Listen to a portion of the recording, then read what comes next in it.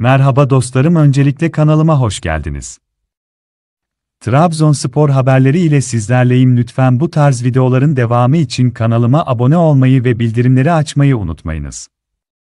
Şimdiden teşekkürler şanlı Trabzonspor. Son dakika Trabzonspor transfer haberi. Bir Gürcü transferi daha. Levan Karabadze ile görüşmeler başladı. Yeni sezon yaptığı etkili transferlerle birlikte 3'te 3 yaparak giren Trabzonspor, kadrosunu güçlendirmeye devam etmek istiyor.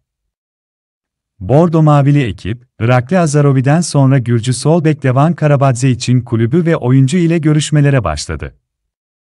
Sol bek arayışlarını sürdüren Fırtına, Irakli Azarovi'nin ardından Gürcistan'dan bir isme daha kanca attı, Levan Karabadze. 21 yaşındaki Gürcü futbolcu, 1997 ve üstü doğumlu olduğu için 14. yabancı olarak TLF listesine yazılabilecek.